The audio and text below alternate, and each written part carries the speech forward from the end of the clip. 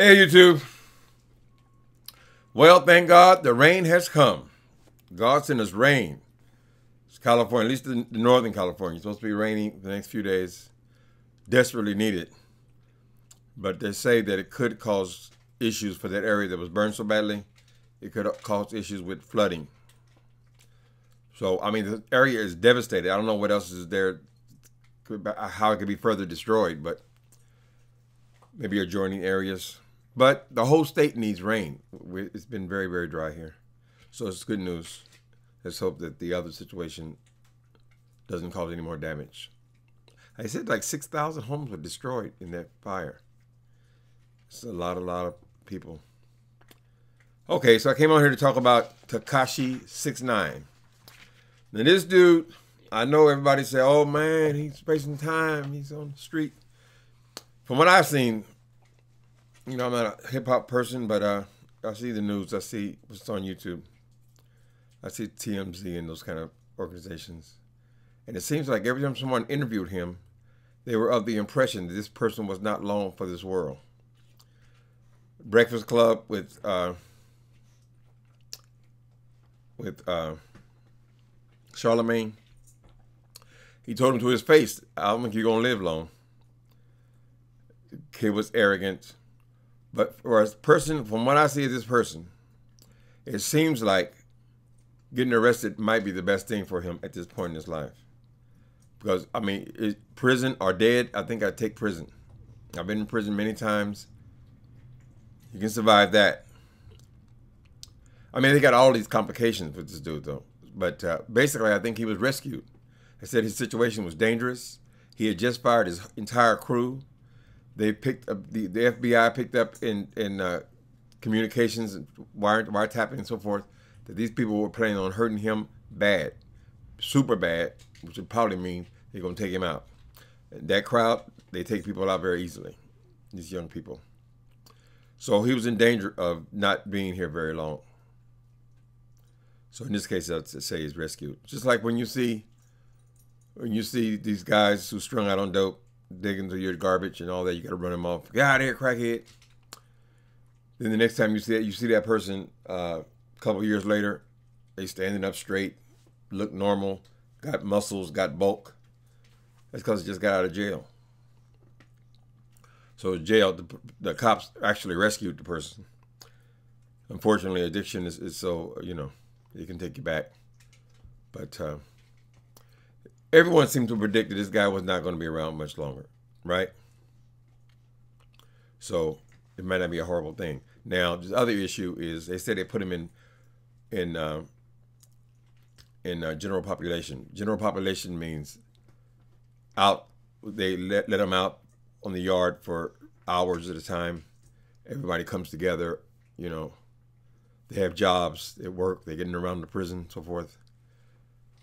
Generally speaking, celebrities don't go to uh, to uh, general population, especially not people with, with a history of gang banging, and uh, people hip hop people definitely they want, want them on the main line.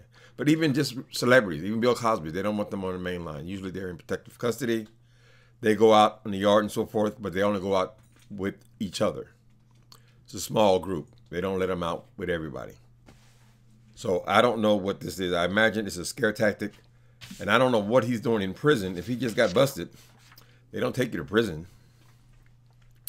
When you get busted, they take you to jail. So they're they talking about he's in a main population in jail? Because if he's in jail, he's still in the cell. He might be let out on whatever road, maybe 10 people are behind a gate. But jail and then like prison. So, but this is the publicity. They're saying that uh, He's been uh, he's been kept in general population. That's a prison term. He hasn't even been arraigned yet. Why would you send somebody straight to prison? So apparently he's with the feds. So the feds operate a little differently. One thing I said about the feds though, it's not uh, the feds is much lighter prison than uh, the state. If he, he had state time on the main line, yes, extremely dangerous. But federal crimes are generally speaking Uh, white collar crimes, a lot of white collar criminals in those places. Different crowd than um, than uh, state. Could still be dangerous. I don't know why they have them on main line, but uh, like I said, that's, that's a prison term. I don't know how you're gonna be on main line if you're in jail.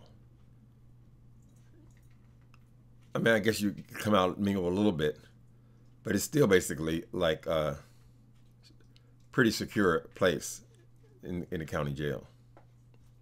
They go out on the roof or whatever yard they got for a couple of hours a day with heavily security all over the place. They're gonna get you, it more likely be in prison where they have more freedom. Anyway, so let's see. The other bad thing, of course, is they're talking about a long, long time. So I don't know why all this information would, would be public. They're saying he's facing life in prison. Some say he's facing 25 years in prison. His charges are something like racketeering and other crimes he's been involved in. Many people feel like, well, they put him on, on the main line so they uh, uh, uh he could try to pressure him into talking. He can't talk when you're dead. If they're real gangbangers in that place, you know, they got vendettas to go back generations. So we'll see what's happened to this kid. But for the moment, it seems like jail would be a much better place for him to be than uh, in the streets. If he didn't fire his whole crew, they are also, uh, you know, questionable types, criminal types. Uh, he could be dead. It's a possibility that that's what's going on. It could be that he's just in basically protective custody, and he told them, "Well, you have to come up with this story or whatever," because it all happened in a couple of days. The feds came to him and said, "Listen, the people are going to try to kill you, and we can take you in to protect you." Tekashi says, "No, this is all public now. I don't know why we have all this information. The feds are not in the information business concerning us. They're not concerned with paparazzi and all this kind of stuff. This would have to be something that he orchestrated." But um, he said no. Then a couple days later, they come and arrest him. I don't know. But this is this guy's one chance to become an old man. So we'll see. I don't think he's going to be in, in, in general population. They just don't do celebrities. My experience is they don't do celebrities like that. Particularly not that, that kind of celebrity. And he's a gangbanger they send certain gang bangers to certain prisons. Then other ones that they know have beefs, they send them to other places. When you go in, they ask you what are your affiliations. They check your tattoos, and they house you accordingly. So I think there might be some trickeration in this thing, or they're giving us a story. They're giving us a story where this kid can go away, not be killed, and perhaps uh, not be labeled as a snitch. I don't know why TMZ even suggested that. Is there a possibility that, that he could be talking? It's not their business. You can get that person hurt, and if it's not, it's not supported by anything. I mean, you just throw it out there like that. That's what they do anyway. Happy Thanksgiving, people. Y'all start cooking yet? Y'all start cooking. All my shit is in the bag, right? So all I got to do is get up in the morning and put it in the oven. The meat, I have my Thanksgiving. I have uh, potluck. I know some people who cook, who really do cook, and who appreciate only the people who cook cooking. they don't want to come here experimenting, right? so the people who cook make most of the food. I host and I make the meat. The meat is the easiest thing to do. They give you the instructions right there. Turn the oven on and stick it in, honey. Happy Thanksgiving, folks.